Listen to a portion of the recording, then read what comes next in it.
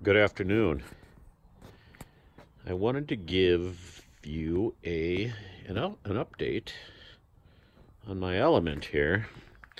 And sometimes you have to take a step back to make progress, to move forward. And uh, I never did finish my heated seats. So I've been working on that and this is how I boogered up my hand. I was running this, running the power cord underneath this, and instead of removing all the screws that you would need to do, I, like a knucklehead, forced my hand under here, and uh, actually it was over here. I boogered it up. It was over here. But anyways, I was able to tuck those through. Okay and they plug into here. So I'm making progress, peeps. Making progress. I was able to drill some holes and mount. It's very simple. Just drill some holes to the correct size. And here are my switches for the heat, heated seats. There's the speaker base. And then, of course, this will sit like this. Goodness. It'll sit like that. And yeah, you just, boom. But part of the problem is I lost my mojo with this with this project because as nice as this is, as nice as some of this stuff is, fun to do and all of that,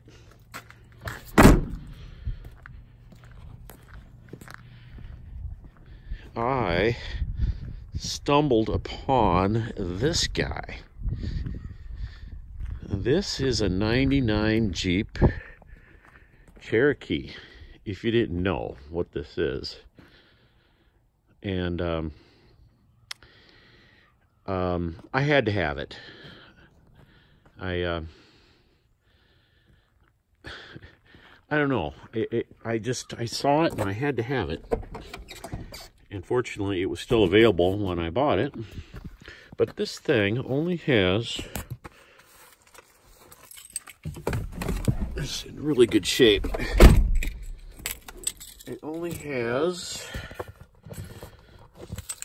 a 99 with 65,000 miles on it. And it's in great shape.